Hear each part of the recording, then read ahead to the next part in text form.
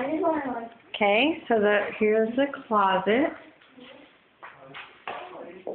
And then here's another closet. Hmm.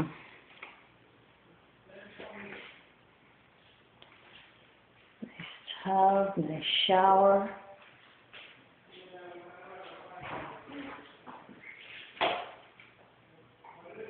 Fancy living in here. I'd never want to leave the bathroom.